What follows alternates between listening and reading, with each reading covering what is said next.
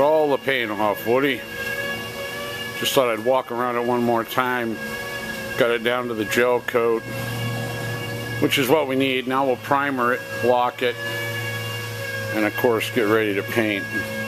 Got a little commitment from Applegate to come help me. Fathead's pretty good at this stuff and we'll make it cool.